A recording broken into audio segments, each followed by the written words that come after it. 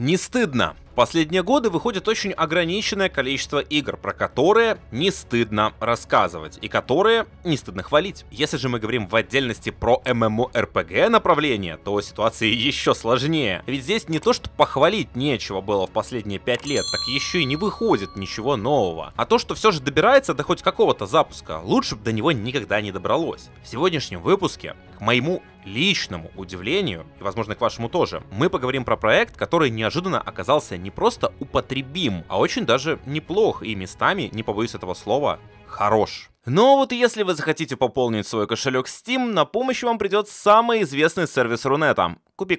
Причем сделать это можно будет с самой низкой комиссией на рынке, и что гораздо важнее, пополнять можно не только аккаунты с российскими рублями, но и варианты из Казахстана с тенге, а также те, где в ходу доллары. В довесок здесь присутствует и еще один важнейший плюс – невероятная надежность. Ведь вам не нужно передавать кому-то доступ от своей учетной записи или ключик от почты. Просто заходите на сайт Купи код, вводите свой логин, обязательно втыкаете промокод, который позволит уменьшить комиссию дополнительно на 2%, а после этого переходите на защищенную официальную страницу оплаты. Немного времени и деньги у вас на кошельке. С другой стороны, зачем пополнять ради покупки игры, если ее можно купить напрямую? Купи-код это не просто сервис, а настоящая находка для геймера, ведь он предлагает еще и покупку этих самых игр, среди которых можно обнаружить целый специальный раздел недоступных на территории Российской Федерации. Довесок к этому площадка автоматически дублирует все акции и скидки из Steam напрямую, что сделает приобретение товаров еще более комфортным. По упомянутому уже ранее промокоду вы можете дернуть дополнительные 10% скидки. А чтобы вы точно не ушли недовольными, Купикод предлагает зарегистрированным пользователям постоянный кэшбэк на все покупки.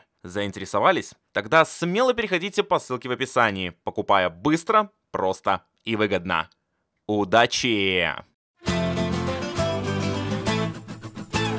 World of Sea Battles. Именно так называется наш сегодняшний гость. Как следует из названия, и за разработку этого проекта ответственна компания... Э, стоп, простите, оговорился. За разработку этой игры отвечает один единственный энтузиаст из Российской Федерации, который приступил к созданию своего собственного проекта еще в 2015 году, будучи студентом одного из профильных вузов. По сути своей, данная игра была ничем иным, как разработка для того, чтобы получить опыт по специальности, который мог бы быть полезен в будущем для поиска перспективного места работы в какой-нибудь крупной IT-компании. ММО же жанр был выбран по сути своей не случайно, ведь именно это направление будоражило тогда миллионы игроков по всему миру, а создатель World of Sea Battles не был исключением. Ему тоже всегда хотелось создать проект своей мечты, и поэтому появилась идея попытать силы в этом жанре. Беда только в том, что создатель не учел важных нюансов, а если быть точнее, то что крупный онлайн-проект это самый трудозатратный и сложный жанр, который требует массы специалистов и колоссального времени на разработку. Как бы странно это ни звучало, но обычные пользователи даже близко не представляют, насколько тяжело произвести что-то в этом направлении, особенно если учесть, что средний цикл производства занимает 8 лет, а нормой уже давно считается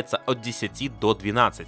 Удивительно и то, что достаточно долгий промежуток времени World of Sea Battles продолжала создаваться исключительно на энтузиазме. Опыт был действительно получен, и параллельно с ним проект получил первую pre-альфа-сборку, которая сразу же сопутствовала появлению первых онлайн-серверов для тестирования. Сам же создатель благополучно переключился на заработок средств и устроился в профильную компанию. Правда, свое ММО-детище он не забрасывал и до 2019 работал над ним в факультативном формате. Причем, чтобы вы понимали, популярность игры не была какой-то значительной.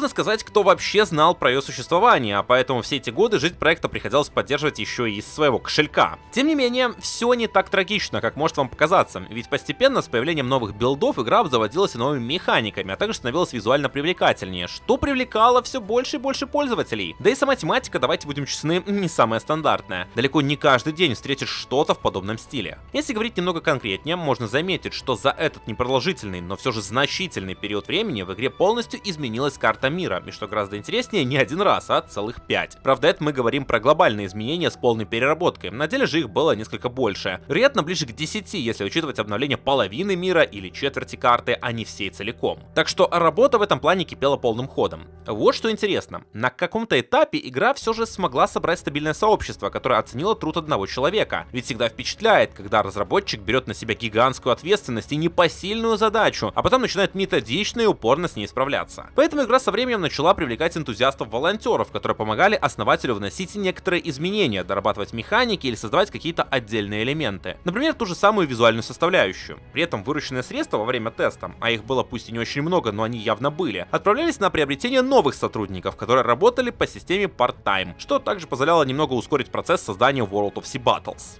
Какой-то основательный же прогресс наметился только осенью 2022 года, когда игра наконец перешла в плоскость профессионального проекта. Достигнуть такого результата удалось за счет роста онлайна в игре. Да, на тестовых мирах обитало в среднем под 200 человек, что, как вы понимаете, не очень много для полноценного ММО. Но вот в упомянутом году показатель добрался до уровня в несколько тысяч. С этого момента берет свое начало компания Terra Interactive, в штат которой вошло чуть более 20 человек, а еще столько же находятся на позиции волонтеров и продолжают помогать с доработкой игры абсолютно абсолютно бесплатно. При этом не стоит полагать, что переход в профессиональную плоскость был гладким. Нет, ребята, он сопровождался событиями, которые чуть не уничтожили этот проект, и, вероятно, мы бы даже про него сейчас не разговаривали. Какими? Дело в том, что сетевой код World of Sea Battles не был предназначен для такого количества пользователей, а карта мира оказалась банально очень маленькой, что периодически приводило к толканию игроков между собой, как в автобусе в час пик. Как следствие, мир игры охватила волна бесконечных падений, он буквально не был в состоянии находиться в онлайне дольше 10, максимум 15 минут. Ситуация Ситуация была настолько критичной, что разработчикам даже пришлось выключить регистрацию, чтобы хоть как-то исправить ситуацию. Получилось ли у них это? На самом деле, как утверждают сами представители Terra Interactive, в команде царила апатия, потому что никто не знал, как можно разрешить имеющиеся проблемы. Причем буквально. Ситуация оказалась патовой, и выхода из нее найти не получалось. Разрешили вопрос практически чудом, но как именно, к сожалению, мне как автору этого материала в свободном доступе найти не удалось. Так что, возможно, в обозримом будущем, если тема проекта будет кому-то интересна, попробуем выудить информацию из первых рук. Главное здесь в другом. Игру удалось реанимировать и наладить проблемы с сетевым кодом, который и по сей день чувствует себя более-менее адекватно. Что до монетизации и релиза, то здесь начинается самое интересное. World of Sea Battles это редкий представитель ММО жанра, который создается исключительно для персональных компьютеров, и при этом он все еще находится в стадии тестирования. Вообще, в социальных сетях написано, что игра на сегодняшний день все еще на этапе раннего бета-тестирования, постоянно включенными игровыми мирами, а сам релиз запланирован только на 2025. Причем, зная, как обычно бывает с разработчиками, разработчиками 2025 год означает не его начало, а самый конец. Возможно, даже 25-26 декабря.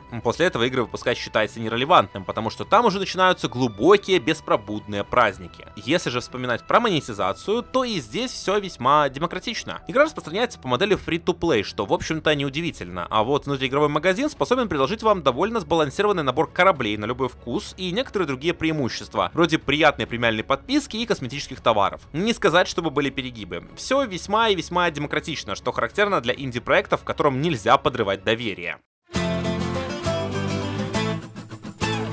Технической частью вопроса мы вроде бы разобрались. И теперь, когда вы знаете вводное, самое время поговорить про особенности проекта и то, что он вообще из себя представляет а в области игрового процесса. Здесь надо заметить, мы встречаем полностью уникальный MMORPG, аналогов которого на рынке на сегодняшний день нет. И поверьте, это чистейшей воды правда. Почему? Да потому что эта игра построена на управлении своим собственным кораблем образца 17-19 веков, эпохи паруса. Буквально весь ваш контент, с которым вы можете столкнуться, расположен в бескрайнем, открытом мире мире, по которому передвигаются сотни неигровых персонажей и сотни обычных пользователей, которые заняты своими делами. При этом дел этих довольно много, и сказать, что заняться здесь нечем, язык не поворачивается. Следовательно, ваша задача заключается в том, чтобы взять судно под свое управление и начать планомерно развивать его, а также некоторые иные аспекты. Давайте обо всем по порядку. Встречает World of Sea Battles вас весьма классическим, почти стандартным обучением, которое вводит вас в курс дела. Здесь буквально нет других вариантов начать игру. Вначале вам в любом случае придется познакомиться с базовыми механиками. Переживать на этот счет не стоит, ведь займет это в худшем случае 5 минут, если вы особо одаренный 10 минут. После этого вас выбрасывает в открытый мир в безопасную зону. Безопасная она весьма условно, об этом чуть-чуть попозже. С этого момента перед вами открывается два варианта развития событий. Вы можете начать набивать шишки и пытаться изучить окружающие просторы самостоятельно, или же можете пойти по более простому пути и начать выполнять основную цепочку заданий, которые вам дадут на месте. Рекомендуется все же вариант с квестами. Почему? Да потому что задания проведут вас по всем основным механикам проекта, начиная от заработка средств и заканчивая развитием вашего корабля, что, поверьте, достаточно важно. С другой стороны, фокусироваться на ней тоже не обязательно. World of Sea Battles обладает уникальной для нашего времени чертой. Он интуитивно понятен. Поэтому технически вы можете заняться своими делами и на фоне поделать квесты. Именно так делал и продолжает делать ваш покорный слуга. Что касается игрового процесса. В вашем распоряжении есть корабль, причем вариаций его несколько. Здесь есть быстроходные, тяжелые, торговые и некоторые другие виды транспорта, которые вы можете взять под свой контроль. Разделены они на 7 ступеней, где 7 это самые слабые корабли, а единица самые сильные. Прокачка же идет по принципу выполнения различных задач и проведения сражений на кораблях конкретного типа. Проще говоря, бьетесь на легких судах, значит и опыт будет идти в легкую ветку. Здесь все очень сильно похоже на World of Warships, но при этом нужно держать в голове, что это не сессионка, а именно MMORPG с большим, бесшовным, открытым миром. Кстати, это еще и песочница. Да, здесь за руку вас никто не ведет, и как только вы закончите вступительные квесты, получив общее знание про игровой процесс, дальше развлекать придется себя самостоятельно. Чем же можно себя развлечь? На самом деле вариантов довольно много. Сама карта мира разделена на различные области, которые обозначены уровнем угрозы. Чем выше уровень угрозы, тем опаснее враги в этой зоне, и тем больше шансов, что там будет включен перманентный PvP режим. Например, в центре карты от него отказаться невозможно. В остальных же зонах вам доступен выбор флага, под которым вы можете выходить из порта. Если, к примеру, вы собираетесь покачать своего капитана и заработать немного опыта путем нападения на местных кораблей NPC, которые обозначены синим цветом, то вы можете выйти под мирным флагом. Тогда другие пользователи, которые традиционно обозначаются красным цветом, не смогут на вас напасть, и вы сможете спокойно покачаться. И если же вы хотите получать больше добычи при грабеже и при этом иметь возможность нападать на других пользователей, можно выйти под флагом пирата, и тогда количество добычи сильно увеличится. Вот только здесь есть нюанс, ведь игроки, которые особо активно нападают на торговые суда или грабят NPC, начинают зарабатывать метки. Когда их появляется 3, вы начинаете обозначаться на карте для всех остальных пользователей. И пока они не спадут, вас можно будет отслеживать и спокойно грабить. Сами метки, кстати, снимаются или путем ожидания 30 минут на каждую, или же за счет выполнения повторяющихся заданий в таверне. Так что увлечься грабежом здесь тоже не выйдет. Что до активности, то нападение на другие корабли это не единственный вид контента, как минимум потому, что есть несколько вариантов взаимодействия с ними. Например, вы можете просто его потопить, а можете взять на абордаж и захватить в эскадру, что позволит ему сопровождать вас в баталиях и помогать в битвах, или же помогать перевозить различные грузы. Кроме этого, захваченное судно можно разгрузить под ноль в порту, а потом разобрать на детали, что весьма выгодно, но нужно помнить, что абордаж здесь дело рискованное. Также вы можете взять корабль на абордаж и уничтожить его с получением большего количества содержимого трюма, или же просто захватить его экипаж для личного пользования. Моряки здесь имеют привычку погибать в баталиях, а поэтому их нужно постоянно докупать. Следовательно, подобный вид грабежа вполне приемлем. С другой стороны, вас никто не заставляет вести боевые действия, если вы от них устали или наоборот их не приемлете, можно заняться торговлей. Торговля здесь имеет три ступени. Первая и самая простая это аукцион, на котором продают различные ресурсы и предметы сами пользователи. Работает он точно так же, как и в любых других проектах, с той лишь разницей, что он вроде бы как привязан к конкретному порту. Эта информация не точна, так что будем надеяться, ребята с опытом поправят в комментариях. Также здесь доступны грузоперевозки. Условно в порту X может продаваться древесина по 2 серебряных за штуку, а в порту Y цена ее сбыта составит 3 серебряных за штуку. Путем очень простой математики получаем навар в одну монету за один экземпляр ресурса. Грузим себе полный трюм и везем на продажу. Процесс не самый увлекательный, но достаточно доходный. Особенно если учесть, что товары в портах и их количество в них зависит от того, сколько игроки их туда завозят, и с течением времени они банально могут в них кончиться. Третий же вид торговли это классический обмен с продавцами. Они встречаются в море, на отдельных островах и опять-таки в портах. У них можно приобретать различные ресурсы и продавать им же заработанные. Собственно, отчасти это является элементом торговли из пункта 2. На этом, правда, мирные виды активностей не заканчиваются. Еще в вашем распоряжении есть мануфактуры или острова с ценными ресурсами. На некоторых из них можно просто условно высадиться и добыть какие-то ресурсы, а на других вы можете построить свое производство. Производство позволяет вам добывать какой-то реагент, условную древесину, пищу или железо. При этом само производство нужно будет прокачивать, чтобы оно приносило больше ресурсов в день, а вам в свою очередь надо будет периодически заплывать на свои заводы и забирать оттуда готовые реагенты. Дело это тратит приличное количество времени, но со временем все же окупается. Кстати, есть еще и личные острова. На них можно просто отбахать свою собственную базу, что тоже весьма приятно. А если же одного острова вам не хватит, всегда можно взять перку капитана и сделать себе несколько личных островов. Однако и на этом активности не кончаются. Нет, наоборот, на этом этапе мы поговорили только про базовый контент, с которым вы столкнетесь. Дальше начинаются более интересные процессы. Например, осады портов.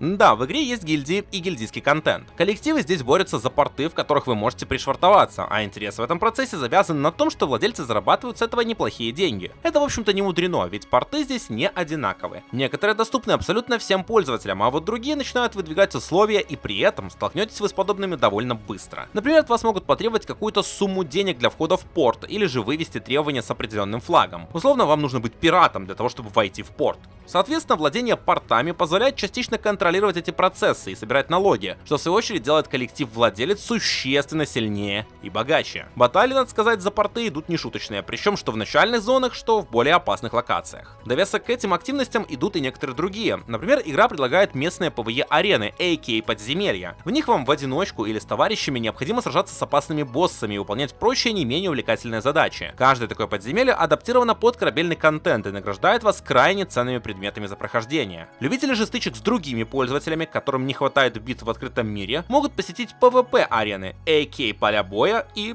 просто арены. На них вам также будет необходимо биться в самых разных форматах, от нескольких человек до гильдий за точки интереса, или же просто сражаться в чем-то вроде дуэльных баталий, чтобы получить валюту, которая нужна для улучшения ваших кораблей. Кстати, про это. Система прогрессии это чуть ли не основная механика этого проекта, ведь во всех песочницах инвестиции в себя любимых являются ключевым времяпрепровождением. World of Sea Battles не является исключением, и вы должны понимать, что развитие здесь не сводится исключительно к получению новых кораблей. Нет, вам доступны различные виды орудий, типа снарядов, перки для капитана, различные матросы, а также улучшение самого корабля. Условно, вы можете повесить бонус, который добавит ему больше места в трюме или увеличит его скорость передвижения. Именно развитию этих показателей и будет уделяться больше всего времени, и именно они станут той активностью, которая начнет вытягивать из вас больше всего ресурса. Сами же ресурсы, как уже было сказано, добываются из самых разных источников, но есть один важный нюанс. Их перевозка не так безопасна, как может показаться на первый взгляд. Во-первых, в игре есть механика, которая позволяет отслеживать содержимое трюмов всех судов вокруг вас. Таким образом, если вы или другой пользователь будет вести некий ценный предмет, его можно будет легко заметить, и при этом, если вы будете в PvP режиме или PvP зоне, вам придется за себя постоять. Во-вторых, нужно иметь в виду, что при потоплении, будь то от рук игрока или недушевленного корабля, вы потеряете 40% своего инвентаря, что достаточно много, если вы везете свой скарб из одной точки в другую. На этом моменте вы можете заметить, что уж как-то слишком радужно все в этом материале описывается и не может быть все так хорошо. Скажу вам честно, как на духу. Сердце вообще не лежит ругать проект, который создавался руками одного человека, потому что требовать три буквы А в характеристике качества от подобного продукта будет только совсем неудовлетворенной жизнью человек или дремучий невежда.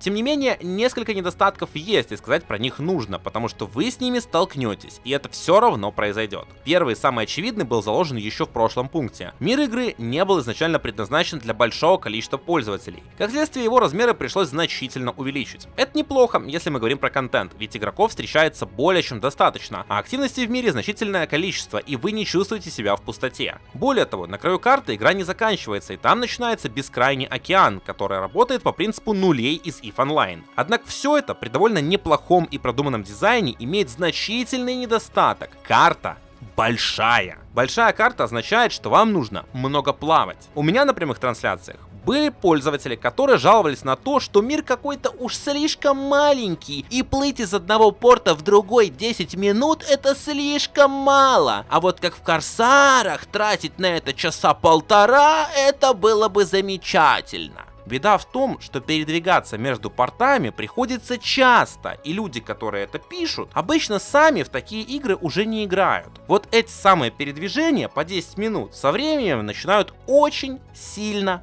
утомлять. И если же вам нужно отправиться из одного угла карты в другой, дело становится совсем плохо. Так что на этом моменте вам остается просто поставить корабль на автоматический путь и переключиться на другой монитор. Более того, ваш покорный слуга плавал на быстрых кораблях и со скоростью в 30 узлов передвижение казалось дичайше медленным уже через 40-50 часов после начала игры. Каково же тем, кто использует тяжелые линейные корабли, вопрос открытый. Вторая проблема не менее значительна, чем первая. После Arcade у меня легкая аллергия на проекты с очками работы. Здесь они тоже присутствуют и выступают в роли единственного стопора, который не позволяет вам мгновенно развиться до самых лучших кораблей в проекте. Есть еще и опыт, но он набирается довольно быстро, так что это детали. Очки работы, экей время, регенерируют довольно быстро, и за ночь их набегает приличное количество, особенно если у вас есть премиальная подписка. Вот только тратятся они еще быстрее, и как следствие реальному производству и развитию вы будете уделять не так много времени. Возможно, это и неплохо, ведь здесь много других механик,